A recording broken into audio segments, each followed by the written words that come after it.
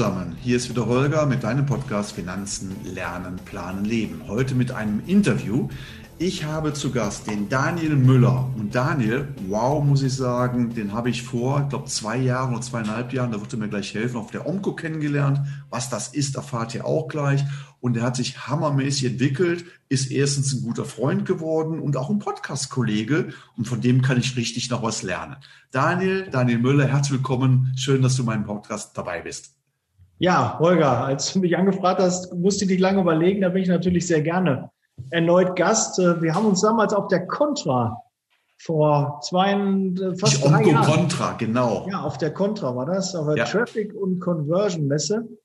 In und da haben uns, äh, weiß ich noch, da hast du in, in, einem Sessel gesessen und ich habe mich einfach mal dazu gesessen, gesetzt und äh, da haben wir uns ein bisschen unterhalten und dann habe ich erzählt, dass ich Podcast mache und du sagtest, du machst auch Podcast. Und damals vor drei Jahren war das noch so was ganz, ganz Besonderes. Ist jetzt immer noch was Besonderes, hat ja nicht jeder einen Podcast. Und so sind wir ins Gespräch gekommen und äh, seitdem jetzt in Kontakt geblieben. Und du warst einer meiner ersten Interviewgäste. Mhm. Und äh, ja, seitdem sind wir ja auch ein bisschen über MLP in, in Kontakt geblieben.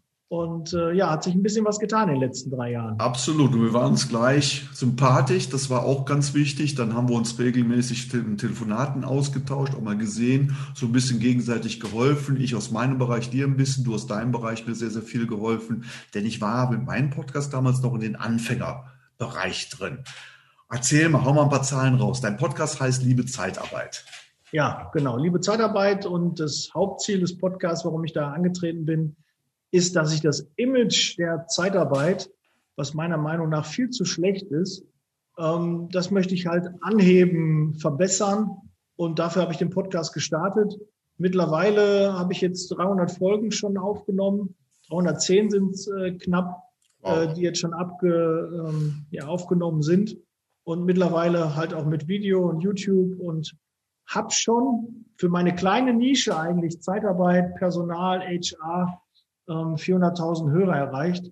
Und das äh, freut mich halt riesig, dass sich auch so viele den Podcast anhören und äh, treu dabei sind.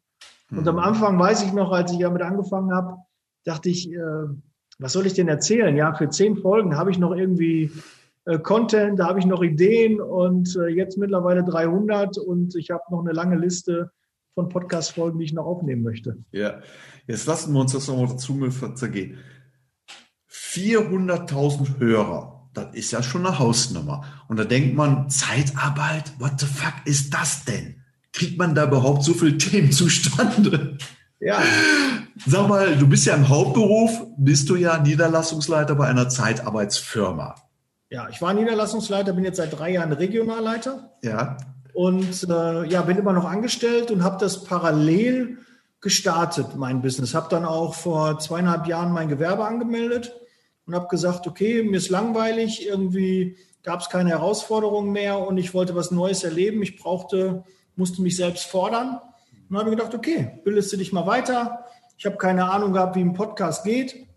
Mir hat das auch keiner gezeigt. Ich musste das auch wirklich per YouTube-Videos und lesen und probieren, testen, habe ich mir das selbst angeeignet. Ja, und äh, ja, bin bis jetzt dabei geblieben. Die, die erste Zeit habe ich eine Folge die Woche gemacht dann irgendwann auf zwei und mittlerweile mache ich drei Podcast-Folgen die Woche. Und jeder, der Podcast macht, weiß, dass es schon, wenn man das alleine macht, äh, schon eine ganze Menge ist. Ja. Mhm. Drei, drei die Woche. Also Chapeau, drei Folgen pro Woche, da kann ich mit meinen zwei Folgen, muss ich mich ja verstecken. nein, nein, nein. Jeder, jeder, der regelmäßig Podcast schon macht, Holger, da bist du schon ganz weit vorne. Ja. Die meisten hören nach sieben Folgen auf. Ja.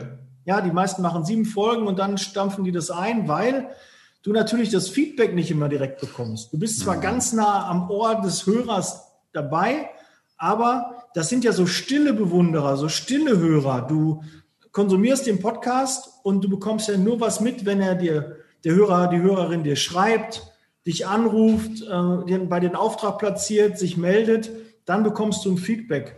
Aber die ganzen stillen Hörer, die da draußen sind, die, die sieht man ja nicht. Ja. Ist was ganz Wichtiges, was du sagst. Da haben wir damals, als wir uns kennengelernt haben, auch drüber gesprochen, eh, geh nicht hin mit der Erwartungshaltung, dass die dir morgen die Bude einlaufen und die Telefone schrillen bis zum geht nicht mehr. Du musst das Ganze aufbauen. Und das hast du ganz klar gesagt. Ich bin eh mit dem Mindset angetreten. Bei mir war es ja so, ich bin angetrieben und gesagt, ich habe keine Lust, immer das Gleiche zu erzählen. Ich möchte ganz gerne mal das, was über Erben schenken und so weiter, weil ich ja sehr spezialisiert aufgestellt bin, nicht immer wieder neu erzählen. So kann man dann sagen, hör mal, da habe ich einen Podcast gemacht, hör mal rein dann hast du schon die Vorinformation. Wenn du dann zu mir in den Termin kommst, hast du schon die Fragen auf, den, auf der Zunge liegen, die wichtig sind. Und ich muss nicht bei Adam und Eva bei dir anfangen, die wieder eine Stunde lang erzählen, was das überhaupt ist. Wir können sofort in Medias Res gehen. Das war mein Ansatz damals gewesen. Deshalb bin ich doch ganz entspannt reingegangen. Aber ich erinnere mich genau an deine Aussage, wo du sagtest, ey, das musst du aufbauen, du musst Geduld haben, steht der Tropfen hüllt den Stein, so ungefähr hast du es, glaube ich, formuliert. Und das hat sich auch bewahrheitet. Ne? Ja, war so, weil man, man denkt wirklich, man macht einen Podcast, oh Gott, jetzt gehe ich raus, jetzt bin ich für alle sichtbar, ich bin in der Sichtbarkeit, das ist ja auch eine Entscheidung, die getroffen werden muss. Mhm. Ja, du musst dir ja bewusst sein, ich möchte jetzt an die Öffentlichkeit, ich möchte sichtbar werden, ich möchte nicht irgendwie ähm, im stillen Kämmerlein mein Business machen, sondern ich möchte da draußen Fußstapfen hinterlassen. Ich möchte was, was mitgeben, ja, und auch Content liefern, ist ja eine Art Dienstleistung, wo du ja kein Geld für bekommst. Also der Podcast ist an sich ja komplett kostenlos, kann mhm. jeder konsumieren und äh, kann sich das Wissen aneignen. Und da ist schon mal der, der, der erste Glaubenssatz, den, den viele halt haben. Du kannst doch nicht einfach dein Wissen, was du dir in Jahren erarbeitet hast, aus der Branche, aus der Lebenserfahrung, das kannst du doch nicht einfach for free rausgeben. Du machst doch die anderen schlau, weil ich helfe ja anderen Zeitarbeitsfirmen, Personalern, beim Recruiting, beim Onboarding, beim Finden von guten Mitarbeitern, wie, wie die ähm, ihren ganzen Tagesablauf besser planen können, wie die erfolgreicher werden. Mhm. Und das kann ja eine andere Zeitarbeitsfirma, ich bin ja noch in der Zeitarbeitsfirma beschäftigt, könnte ja auch ich mir meine eigene Konkurrenz aufbauen. Mhm. So hat also auch, ähm, so denkt auch mein, meine Führungskraft in der Firma, wo ich bin. Mhm. Macht die lieber mal nicht schlau, mhm. weil ähm, ja, auch mit den Aussagen muss man natürlich ein bisschen aufpassen. Ich stehe natürlich für was und du musst auch für was stehen, damit du auch wahrgenommen wirst. Wenn du immer nur so ein Fähnchen im Wind bist und jedem nach dem Mund redest, wirst du nicht wahrgenommen, weil das, das möchte keiner, sondern man muss klar Position für etwas und auch gegen etwas stehen und dann ist man in der Wahrnehmung und dann eckt man auch mal an und das Thema Zeitarbeit eckt ja generell an. Mhm. Ja, also genau, lass uns da nochmal kurz drauf kommen, weil Zeitarbeit weiß vielleicht nicht jeder meiner Hörer, was das bedeutet, Zeitarbeit. Sag mal kurz, was dahinter steckt. Ja, Zeitarbeit bedeutet, bei uns rufen Firmen an und bestellen oder fragen nach Personal mit einer gewissen Qualifikation, die sie für eine Zeit X benötigen. Und wir ja, haben schon ganz viele Mitarbeiter beschäftigt oder begeben uns auf die Suche nach dieser Qualifikation und überlassen dann dem Kunden diesen Mitarbeiter für eine gewisse Zeit. Der mhm. Kunde kann nachher den Mitarbeiter übernehmen oder kann auch nach drei Wochen sagen, nee, jetzt brauche ich den nicht mehr, der Auftrag ist beendet, der, der Urlaub meiner Mitarbeiterin ist beendet, die Krankheit eine, ähm, eines Mitarbeiters ist beendet, ich brauche jetzt die Unterstützung nicht mehr von Daniel. Mhm. So, und dann wird ja. der Mitarbeiter abgemeldet und der, das Schöne ist ja dabei, was viele nicht wissen, der Mitarbeiter bleibt ja weiterhin bei der Zeitarbeitsfirma. Der ist ja weiterhin da beschäftigt. Wir haben ja nicht so ein Modell wie in Frankreich, wo direkt mit dem Abmelden des Mitarbeiters auch der Arbeitsvertrag endet. Mhm. Ja, also da ist es so, und ich glaube auch in Holland, wenn in Frankreich ein Mitarbeiter abgemeldet wird, endet automatisch der Arbeitsvertrag. Und das ist halt in Deutschland nicht so.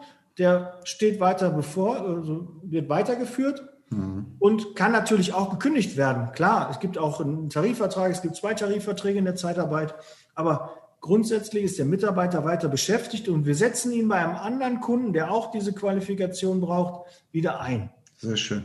Eigentlich ja sehr, sehr wichtig für Unternehmen, sagen wir mal, die Spitzen abbauen müssen, wenn sie Arbeitsspitzen haben, Produktionsspitzen, Dienstleistungen, die abgebaut werden muss, haben aus der eigenen Personalkraft nicht die Stärke, um das zu stemmen, freuen sie sich, wenn sie von außerhalb Leute kriegen können. Und das Schöne ist, wenn sie sagen, ich brauche die jetzt nicht mehr, weil Aufträge abgearbeitet worden sind, geben sie dir den Arbeiter, den Arbeitnehmer wieder zurück. Genau. Warum hat denn Zeitarbeit eigentlich früher immer so ein schlechtes, sagen wir mal, schlechten Ruf gehabt? Denn das war ja auch, was wir uns kennengelernt haben, hast du gesagt, Mensch, ich trete ja auch dazu, da, ich trete ja auch ein, um die Zeitarbeit mal auf den Sockel zu nehmen, auf den sie drauf gehört, weil es eine hammermäßig coole Geschichte. Und das wissen viele Leute nicht, weil es ja Vorurteile gibt. Ja, es gibt natürlich auch, wie, wie in jeder Branche, ja, die kennst du im Versicherungsbereich, die gibt es bei Politikern, die gibt es bei der Polizei, die gibt es äh, beim Bäcker, die gibt es bei Paketboten. Ähm, dass auch Leute ihren Job anders interpretieren und dann vielleicht nicht ihren Job so machen, wie wir uns das alle vorstellen oder wünschen würden. Die gibt es auch in der Zeitarbeit, ja. Also ich bin ja nicht, will jetzt nicht sagen, dass es keine schwarzen Schafe da draußen gibt, aber die gibt es wirklich in allen Bereichen. Mhm. Aber gerade in der Zeitarbeit ist es natürlich so, dass gerade auch im, im Niedriglohnsektor, und da meine ich nicht Niedriglohn vom Lohn her, sondern eher von der niedrigen Qualifikation. Wir beschäftigen ja sehr viel, 60, 70 Prozent sind ungelernte Kräfte, ja, die keine Ausbildung haben, die ähm, ja langzeitarbeitslos waren und die versuchen wir wieder in den Arbeitsmarkt zu integrieren, indem wir denen eine Chance geben und die bei Kunden wieder einsetzen. Ja, und wenn du dann äh, ja, ist halt immer ein bisschen schwierig. Wenn du in einem, mit, mit einer geringen Qualifikationsanforderung arbeitest, ähm, musst du natürlich, wenn dann kein Auftrag mehr da ist oder die Fehler auch in der Person zu sehen sind, weil der Mitarbeiter funktioniert nicht, ist zu oft krank, ähm, es passt menschlich nicht, dann musst du halt reagieren, weil wir sind ein Wirtschaftsunternehmen und bezahlen den Mitarbeiter weiter. Und wenn du dann einen Mitarbeiter beschäftigst, den du nicht mehr bei einem Kunden einsetzen kann, kannst, dann musst du dich von ihm trennen. Ja, egal wie lange er da war, du probierst noch, du machst, aber irgendwann kommst du vielleicht zu einem Punkt, wo du sagst, pass auf, jetzt ist unsere Reise zu Ende. Und dass es bei einer Zeitarbeitsfirma ein, ein höherer Durchlauf an Mitarbeitern ist, weil man halt auch Spitzen abdenkt. Man hat auch saisonales Geschäft, wo dann gesagt wird, im Sommer brauchen wir 100 weitere Mitarbeiter oder Amazon zum Beispiel. Amazon wickelt sehr viel ihrer ihrer Spitzen über Zeitarbeit ab, weil die auf einmal, die haben vielleicht im Stamm 300, 400 Mitarbeiter und dann zur Weihnachtszeit haben die auf einmal zwei oder 3000 Mitarbeiter dann hm, beschäftigt. Hm, und die hm. holen die über die Zeitarbeit und irgendwann ist, sind die Aufträge weniger und dann werden die Mitarbeiter wieder abgemeldet. Aber du hast halt nicht nochmal einen zweiten Amazon in der Hinterhand, musst dich dann auch von einigen Mitarbeitern trennen und das versteht halt nicht jeder. Und ja, es ist auch viel, viel Unwissenheit. Meist kennt einer, der kennt einen und der war meine Zeitarbeit und der hat eine Kündigung bekommen. Mhm. Und es wird auch oft nicht hinterfragt, ob das richtig ist oder nicht, ob das stimmt. Ja. Das ist leider so. Ja, und natürlich auch der eine oder andere am Markt hat auch nicht äh, für einen guten Ruf gesorgt und äh, hat so ein bisschen diese negativen Sachen, die lassen sich auch viel, viel besser verkaufen. Gerade auch in der Politik. Du musst dir ja vorstellen, es sind nur ein Prozent der Deutschen, sind beschäftigt in der Zeitarbeit. Aktuell sogar noch ein bisschen weniger. Ein Prozent, ja. Ein Prozent. Und wenn du die Wahlen Aber sind trotzdem Milliardenmarkt, nehme ja. ich mal an, ne? vom Umsatz ja. her, oder? Ja, das, äh, ich weiß ja nicht, wie viel Umsatz hängt halt von den, ähm, von, von den Stundenlöhnen oder von den Verrechnungssätzen mhm. ab, wie viel Umsatz das ist. Aber es ist, ähm, es ist jetzt nicht verschwindend gering. Es hat schon eine gewisse Größe, die Zeitarbeit ähm, im deutschen Arbeitsmarkt. Aber wir reden trotzdem nur über ein Prozent. Ein Prozent des, der arbeitenden Bevölkerung ist über die Zeitarbeit eingesetzt. Mhm. Und das war mal in Spitzenzeiten bei 1,5 oder knapp an 2, ja. aber nie mehr. Ja. Und bei den Wahlen ist immer so das Gefühl, dass 30, 40 Prozent aller Deutschen über die Zeitarbeit eingesetzt sind. Und dem, dem ist gar nicht so. Mhm. Ja, es ist ein, ein kleiner Teil. Und ähm, ja, wir haben halt nicht so eine gute Lobby. Gewerkschaften mögen uns nicht. Mhm. Und äh, mittlerweile ist ja eigentlich so, der Mindestlohn ist ich weiß gar nicht, 9,50 Euro, 9,75 Euro aktuell der Mindestlohn. Und wir sind bei über 10 Euro schon. Mhm. Und das schon sehr lange. Und weißt, wir haben ja damals ein Interview gemacht. Ich werde auch mal die Interviewnummer in die Shownotes mit reinnehmen. Da haben wir uns sehr intensiv über das Thema Zeitarbeit, für wen ist interessant, Vor- und Nachteile und so weiter. Ich muss sagen, ich hatte mich vorher auch damit nie auseinandergesetzt. Ich war sehr, sehr angetan, was man durch Zeitarbeit als Unternehmer doch für sich und sein Unternehmen tun kann. Ihr seid wirklich gute Helfershelfer. Und so bist du auch angetreten als Kenner, wo du sagst, dass ich möchte Zeitarbeit wirklich, ja, hoffähig machen, auch transparenter machen. Was machen wir eigentlich? Und das hast du ja mit 300 Folgen, über 300 Folgen mittlerweile glänzend bewiesen. Ganz klar muss man sagen. Und du machst, das war ja auch interessant, was du eben gesagt hast, du machst ja auch Coaching sozusagen, du erzählst so viel Know-how raus, dass auch Mitbewerber auf die Idee kommen können, ey toll, das Wissen sauge ich auf. Und wo dann Leute zu dir sagen, ey, Daniel, wie kannst du nur so blöd sein, so viel Wissen rauszugeben? Das sagen mir manchmal Berufskollegen auch mal, wie kannst du nur so viel Wissen rausgeben? Da lächle ich immer drüber und sage, weißt du, erstens, wenn ich Wissen rausgebe, bin ich im Gespräch. Und mit dem Wissen, da muss ich erstmal ein anderer dran messen, weil wenn ein Hörer dieses meines Podcasts sagt, hey, zu seinem Finanzberater, kannst du das und das machen? In der Regel können das nämlich von 10 bestimmt 9,5 nicht. Ja. Er sagt, okay, du kannst es nicht, weil ich bringe mir auch bei, welche Fragen er stellen soll, sein Finanzberater. Und wenn er dann neuen sucht, wen wird er sich holen? Den, der sehr wahrscheinlich gutes Wissen von sich gebracht hat. Deshalb bin ich immer ein Fan davon, in einem Podcast nicht zu mauern nach dem Motto, so Andeutungen zu machen, was man alles machen könnte, sondern Content for free und das auf höchstem Niveau rauszuhauen. Und das schätze ich auch an deinem Podcast. Du machst du da richtig detaillierte Sachen wie Kalkulation, Onboarding. Wie findest du Arbeitskräfte? Äh, hammermäßig, muss ich sagen. Du bildest ja praktisch äh, Leute aus, die sich den kosten, die sich den anhören können, den Podcast. Ja, weil du es ja auch, Holger, das Wissen ist ja im ganzen Internet verfügbar. Ist ja nichts Neues, was ich irgendwie erfinde, sondern ich habe mir das auch durch Fortbildung, durch eigene Erfahrungen angeeignet und das Wissen bündel ich und wir suchen ja mittlerweile eigentlich nicht nach dem Wissen, sondern wir suchen eher nach dem roten Faden. Ja, wir wollen Orientierung, wir wollen die Abkürzung gehen. Wir wollen nicht die, die unnötigen Kilometer machen, sondern wir wollen schnell zum Ziel kommen und dafür biete ich halt bei dem Podcast meine Einschätzung. Die muss ja gar nicht der, der, der Weisheit letzten Schluss sein. Ja, muss ja nicht. Ich maß mir ja nicht an, dass ich die Weisheit mit Löffeln gefressen hätte, sondern das ist meine Sicht der Dinge, wie ich es sehe, wie ich glaube, dass andere erfolgreich sind, wie wir es schaffen, dass wir gut bei unseren Kunden dastehen und dass die Bewerber uns auch mögen und ein anderes Bild auf die Zeitarbeit oder über Zeitarbeit bekommen wenn wir so mit unseren Mitarbeitern dann umgehen, ja, wie, wie wir Zeitarbeit leben, das kann ich ja nur weitergeben und glaube, dass dadurch automatisch das ganze Niveau der Zeitarbeit einfach angehoben wird. Und dann habe ich ja schon einen Teil äh, meiner Aufgabe dann auch erfüllt. Und jetzt kommen wir so ein bisschen zum eigentlichen Thema ja auch, was, was es ja so ein bisschen geht, ähm, ist ja auch so ein bisschen das Mindset zum Thema Geld, und das musste ich ja auch. Ähm, Lass uns da später nochmal drauf kommen. Ja, gerne. Lass mich, bevor wir zum Thema Geld kommen, das ist auch ein ganz wichtiges Thema, was wir beide besprochen hatten. Ähm, warum bist du gerade auf Podcast als Medium gekommen? Du hättest ja YouTube-Videos machen können, du hättest einen Blog machen können. Wie bist du auf Podcast gekommen?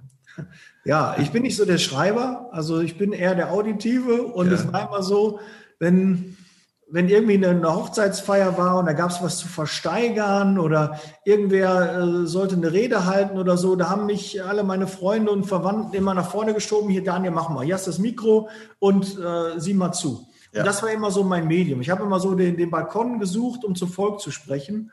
So habe ich das äh, damals so gesagt. Aber meine Kollegen sagten, nein, das kannst du nicht in dem Podcast sagen, ne, dass du nur einen Balkon gesucht hast, um zum Volk zu sprechen. Aber ich wollte halt ein bisschen was mitteilen. Und mhm. bin ich so der Schreiber, ich lese auch nicht so viel aber das Auditive ins Mikro sprechen mhm. und nachher dann auch in die Kamera, weil dann habe ich dann auch gedacht, okay, wenn ich doch eh einen Ton aufnehme, dann kann ich da auch ein Bild dabei aufnehmen und dann kann mhm. ich das doch gleichzeitig auch bei YouTube streamen und das fing ah, so mit okay. den ganzen Zoom-Sachen an und äh, so habe ich dann den Turnaround geschafft und habe gedacht, okay, ja. das ist ein neues Medium, du bist ganz nah am, am Gehirn, am Ohr des, des Hörers dabei mhm. und du hast ja auch eine lange Bühne, ja, wie, wo hast du die Chance, dass dir jemand so lange zuhört? Jetzt nehmen wir auch schon 15 Minuten knapp auf mhm. oder 20 Minuten. Da hast du natürlich ähm, ja die Aufmerksamkeit deines Hörers. Ja. Und wo ist das gegeben?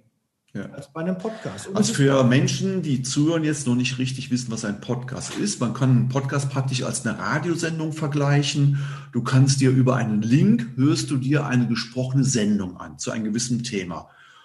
Und du kannst das hören zu allen Tages- und Nachtzeiten. Du brauchst keine Bildgebung dazu. Du kriegst den Podcast sozusagen aufs Ohr. Das ist der absolut tolle Vorteil. Du hörst es dann, wenn du Zeit hast. Du sitzt im Bus, im Auto, hast Wartezeiten, hörst dir mal einen Podcast an.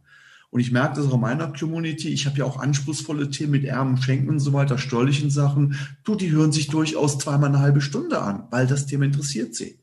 Wie ist denn jetzt bei dir äh, die Resonanz, wenn du es vergleichst, YouTube-Video zu Podcast vom Medium her?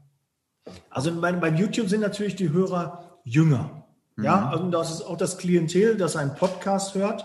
So, ähm, die sind vom Bildungsgrad etwas höher, vom Einkommen etwas höher und ähm, haben halt eine andere Affinität zur Weiterbildung. Ja. Bei YouTube ist es halt auch ein Medium, was ähm, ja, für, für Wissbegierige ist, die sich weiterbilden möchten, aber eher eine jüngere Zielgruppe ansprechen. Ja. Aber die junge Zielgruppe von heute ist auch morgen vielleicht eine Zielgruppe, die für uns alle wieder interessant ist, die dann irgendwann auch kauf, kaufkräftig sind, weil oder in den Beruf dann einsteigen und sich weiterentwickeln.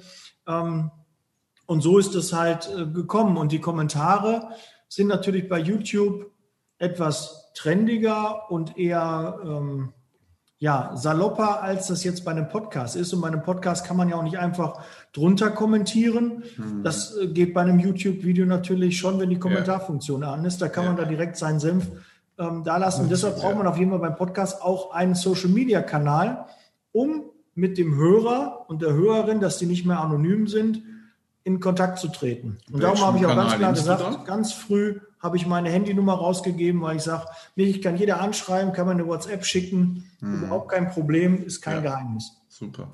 Also interessant, wir machen ja so ein bisschen Erfahrungsausfluss, vielleicht unsere Hörer auch interessant, vielleicht sagt der eine oder andere, auch ich überlege auch, mich in der Öffentlichkeit besser zu präsentieren. Wie mache ich das? Also Blog ist auch nicht mein Ding. Ich habe auch wieder, ich schreibe auch nicht gern, ich rede auch lieber wie du, habe ein Podium. Und ich habe mich dann angefangen mit YouTube-Videos, habe ja viele Klicks gehabt. Ich habe ein Video gehabt, Einladungssicherung über 23.000, was ich vielleicht 24.000 Klicks. Aber YouTube konnte ich ja sehen, so rein raus. Das ist so ein bisschen Voyeur, ne? mal schnell gucken, wieder raus nach dem Motto. Sekunde, Minuten Zugriffe und 20 Minuten Content haben sich ganz wenige Leute angehört.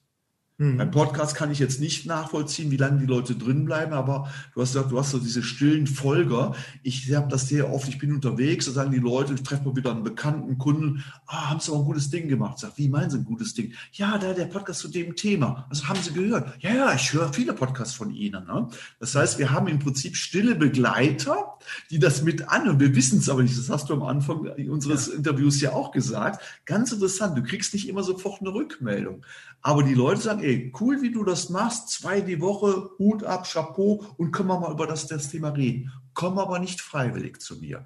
Ich mhm. habe auch diese Zielgruppe, eher die äh, höher gebildeten Leute, ältere Leute, junge Leute haben in der Regel am Anfang nicht sofort das Geld, was die älteren Leute haben. Und deshalb ist für mich Podcast das bessere, sinnvollere Medium als YouTube. Ich habe es jetzt umgekehrt gemacht. Ich habe gesagt, wenn ich den Podcast mal mache, dann nehme ich die Tonspur, hau die einfach nach YouTube rüber, aber ich gebe kein Bild dazu. Ich glaube, auf YouTube haben wir 200 äh, Abonnenten. Nice to have. Ne? Mhm. Finde ich also ganz bloß, aber da tue ich eigentlich nichts für. Das ist nur ein Abfallprodukt meiner Arbeit. Ja? Mhm. Und auch jüngere Leute und weniger Geld ist da auch von, merke ich. Ich kriege die besseren Anfragen, die besseren Geschäfte ziehe ich mittlerweile über Podcast raus. Ja, für mein Business, Finanzen ist das lukrativer. Ich denke mir, da muss auch jeder gucken, wo, wie bin ich aufgestellt, was kann ich gut, was will ich. Als Tipp kann man sicherlich beide weitergeben an unsere Hörer. Nach dem Motto, überleg dir, was willst du erreichen? Da kommen wir gleich zu, du berätst ja auch in solchen Sachen. Du kannst deine Erfahrungen, die mittlerweile aufgebaut hast über die zwei, drei Jahre hinweg, kannst du wirklich weitergeben. Hast ja da auch eigene Kurse, die du mittlerweile herausgibst, wo man dran teilnehmen kann. Da kommen wir später aber auch noch drauf zu sprechen. So, das war jetzt das Thema so ein bisschen Podcast und äh, äh, zum YouTube. Und jetzt hast du ja dich weiterentwickelt. Da war das Thema jetzt Geld wir haben ja mal über Geld uns unterhalten. Du warst ja bisher in Anführungsstrichen Angestellter. Ja. Das heißt, was ist denn der Unterschied zwischen einem Angestellten und einem unternehmerisch tätigen Menschen? Oder ein ähm, Unternehmer? Ich frage das jetzt mal. Ja, ähm, ich bin damals schon als Angestellter eingestellt worden, als Unternehmer im Unternehmen. Das war ja. so die, der Slogan, den damals mein, mein, mein Vorgesetzter mir gesagt hat. Er sucht Unternehmer im Unternehmen, die halt selbstständig arbeiten, die die Arbeit sehen, die eigene Lösungen entwickeln. Und so bin ich auch immer, ähm, ja, nicht ge gedrillt worden, aber so habe ich das auch immer wahrgenommen. Ich konnte also an meinem eigenen Standort relativ autark arbeiten und habe dann äh, neue Lösungen erarbeitet, wo ich dann festgestellt habe, es funktioniert gut. Und ähm, dann aber gemerkt, äh, irgendwann als Angestellter ist dann auch mal Ende ab einer gewissen Position. Ja, ich bin damals mal als Disponent angefangen, dann bin ich Niederlassungsleiter geworden und dann bin ich Regionalleiter geworden. Und wenn du dann merkst, okay, so der Austausch unter den Kollegen, das ist alles schön nett, aber es kommen keine neuen Impulse rein. Mhm.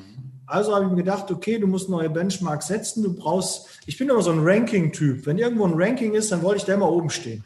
Mhm. Ja, das war schon beim Computerspielen so, das war in, in, in, bei den Niederlassungen, egal wo ich war, wenn es mehrere Niederlassungen gab und irgendwo war ein Ranking, dann wollte ich da irgendwie hochklettern. Ja, ja den besten ja. Umsatz machen, das ja. irgendwie schneller, höher, weiter. Hab und du liebst Zahlen, Daten, Fakten, das weiß ich. Ne? Als wir uns kennenlernen, da warst du auch gleich so, was hast du für Zahlen? Ich sag, was meinst du für Zahlen? Ja, so Klickraten. Ich sag, was ist das denn? Ich habe mich da gar nicht drum gekümmert. Ich habe den Podcast gemacht, hast ein schönes Medium, aber wie oft ich angeklickt werde, warum ist da hast du mir erst mal den Kopf gewaschen, sagst Holger, muss ich schon mal drauf achten. Und du bist ja, ja da wirklich ein, ja, so ein ranking muss ja wissen, was, was so ein bisschen passiert. Es ehrt dich ja auch, dass du da ähm, nicht so genau, dafür mache ich es ja auch nicht mehr ist jetzt nicht wegen, wegen der Zahlen, aber ja. man, man denkt immer so, das ist so eine Spielerei. Aber ich, ich habe Tage, einen Tag gehabt, da haben 15.000, ja, vielleicht war es auch ein Fehler, 15.000 meinen Podcast an einem Tag gehört oder angeklickt, wo ich dann dachte, andere machen da Stadien voll und mittlerweile dürfen ja gar nicht mehr so viele ins Stadion. Aber 15.000 Mal an einem Tag erreichen mit meiner Stimme, ja. Das ist schon irre. Und diese Macht, die man hat, die sollte man auch gescheit und sinnvoll einsetzen. Darum bin ich auch immer, und weiß ich auch wie du, sehr gewissenhaft mit den Aussagen, weil wir haben auch eine Führungsverantwortung. Wir haben auch eine, eine Vorbildfunktion, der wir auch äh, gerecht werden müssen und dürfen nicht irgendeinen Blödsinn erzählen. Ne, das maßen wir uns ja auch nicht an, aber das ist so, so die Erkenntnis. Und beim, beim Zahlen kann man ja auch sehen, was kommt gut an, was hilft was hilft es mir, eine Podcast-Folge zu machen, wo ich sehe, dass nach 10, 15 Sekunden die Leute einfach abwandern und nur ein Drittel die bis zum Ende durchgehört hat. Da muss ich halt gucken, woran hat es gelegen. Was kann ich machen? Hat das, das die richtige Zielgruppe, dass die Themen richtig sind ja. und so weiter. Auf der anderen Seite, wenn zwei Drittel die bleiben, dir gute Resonanz geben und Umsatz machen, die Qualität stimmt dann, oder wenn es nur zehn Prozent sind, ist auch okay. Aber lass mal vielleicht eins festhalten. Podcast ist eine unglaublich geniale Geschichte, um selbst ein Branding zu schaffen, dich zu positionieren um Themen, die du von morgens bis abends als Beruf machst, weiter zu transportieren und dadurch wirklich, sagen wir mal, die, ja, die Fähigkeit eines Fachmanns, eines Spezialisten aufzubauen. Ja, den Nimbus eines Spezialisten kannst du dadurch aufbauen und wirst natürlich auch deshalb auch rumgereicht. Denn du hast ja mittlerweile auch viele Leute, die dich anfragen und sagen, hey, kannst du mich interviewen? Ich würde ganz gerne als Interviewpartner in deinen Podcast rein. Du hast ja schon mittlerweile eine Sogwirkung entwickelt mit den vielen ja, äh, Klickraten, die du von deinen Podcast-Hörern hast. Ja, du bist ja Zielgruppenbesitzer, genauso wie du ja auch Zielgruppenbesitzer. Es hören sich finanzinteressierte Menschen deinen Podcast an. Und äh, da ist natürlich für den einen oder anderen Werbetreibenden natürlich auch interessant, ähm, bei dieser Zielgruppe anzukommen, ja, oder da mal hier sein, sich mal auch als Experte zu positionieren, weil automatisch, wenn du einen Podcast machst, müsstest du ja schon ziemlich entschuldige den Begriff, dumm sein, einen Podcast zu machen über ein Thema, wo du keine Ahnung hast. Mhm. Das macht ja keiner. Ja, ja. Es legt sich ja niemand, sagt, ich mache jetzt mal einen Podcast und biete mich der Lächerlichkeit an. Ich habe mhm. da überhaupt keine Ahnung, aber ich rede mal drüber. Ja. Das macht ja keiner. Also du suchst dir ein Thema aus, wo du Ahnung hast und dazu machst du einen Podcast und mhm. automatisch hast du diesen Expertenstatus. Ist ähnlich, als wenn du ein Buch schreibst, dann denken die Leute auch, der schreibt ein Buch und da hat er ein paar Seiten gefüllt, also wird er schon Ahnung haben von dem, was er da macht und auch eine gewisse ja, Kontinuität, weil es dauert ja auch, bis, bis man so ein Buch fertig geschrieben hat. Ja. Und das ist halt das, was man dann nutzt und auch als Podcaster direkt bekommt. Manche Türen öffnen sich, wenn du sagst, ich habe einen Podcast, ja. Ja, das ist eine Referenz. Ne? Ich habe ein Buch geschrieben, ich habe einen Podcast, macht schon was aus. Ähm, du hast ja was ganz, ganz Wichtiges gesagt, nämlich wenn du vorhast, einen Podcast zu machen, such deinen Bereich, wo du Spezialist drin bist. In der Regel dein Tagesbereich oder du hast ein Hobby, wo du ein absoluter Experte bist, darüber mach einen Podcast. Überleg dir nicht, was könnte Leute draußen begeistern und versuchen, ein neues Thema zu finden. Darin wirst du nie gut sein. Du musst über das reden, was du Tag, Tag ein, Tag aus auch gestaltest. Richtig. Ja. Mein Lieber, wir haben eine halbe Stunde schon um. Das war der erste Teil. Und im ersten Teil haben wir ja, wie gesagt, schon einiges gemacht. Woher kommst du? Wir haben über Zeitarbeit ganz intensiv gesprochen, wie du deinen Podcast aufgebaut hast. Und Leute, hört euch den zweiten Teil an. In dem zweiten Anteil geht es um uns eingemacht. Es geht um Mindset, um Glaubenssätze, es geht um das Thema Geld, Entwicklung, was ist der Unterschied zwischen Unternehmertum und Selbstständigkeit und Angestelltensein. Da freue ich mich sehr drauf. Deshalb vielen, vielen Dank, dass du dabei warst, mein Lieber Daniel. Danke für deine Expertise. Und wenn euch dieser Podcast gefallen hat, würde ich mich freuen über eine schöne Bewertung, am besten auf iTunes oder Spotify. Abonniert den Podcast, denn damit ist gewährleistet, dass ihr keine Podcast-Folge, die hier rauskommt, versäumt. Und habt ihr Freunde, Bekannte oder Berufskollegen, hey, schickt doch einfach den Link weiter, denn auch die werden sich vielleicht für dieses Thema und für das, was Daniel bietet, interessieren. In dem Sinne alles Gute, der Holger und der Daniel. Yeah, ciao. Ja.